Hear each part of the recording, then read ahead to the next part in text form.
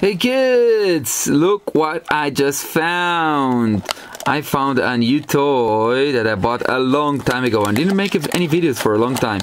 So, this is a, that's a non-brand diecast cars. Uh, look a bit junky, but, but, but, but, but, but, but, but. What do you see here is, a, that's a very unique toy. Really, uh, a diecast that you can't see in uh, other places. That that's the reason that I bought it. I bought it in a small store in Israel, I think, and it's a beauty, huh? It's a beauty. It has eyes. That's a tractor, right? And it has a hat, a black hat. That's a red tractor, and good wheeling, really. Let's see.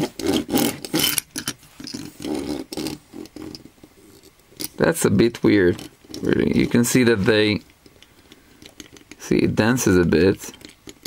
It's not the best, but it's all made out of uh, metal, except from the hat.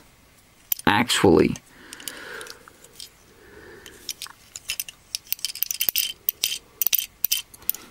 So what do you say about it?